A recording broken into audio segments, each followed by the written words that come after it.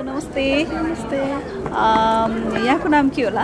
प्रतीक्षा उपाध्याय। प्रतीक्षाजी तपाईँलाई म एउटा सामान्य जेनरल नलेज सोध्छु। तपाईँले मिलाउनु भयो भने चाहिँ एउटा गिफ्ट पनि पाउनुहुनेछ है। नेपालको सबैभन्दा बढी पानी पर्ने जिल्ला कुन हो? के बिर्सिनु भयो।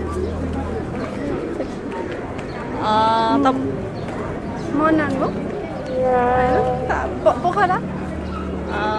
ए, जिल्ला। जिल्ला। त्यो चाहिँ ठाउँको नाम भयो है। जिल्ला भन्नुपर्छ तपाईँले। कास्की? यस सही एन्सर तपाईँले जित्नु भएको छ। यो अनमोल आयुर्वेद सेवा केन्द्र कोटेश्वर र सातो बाटोमा छ होइन? यहाँबाट चाहिँ तपाईँले फ्री हेल्थ चेकअप एउटा पाउनु भएको छ। त्यस्तै अनमोलकै एउटा निम साबुन अर्बल साबुन छ। यो चाहिँ तपाईँले पाउनु भएको छ है।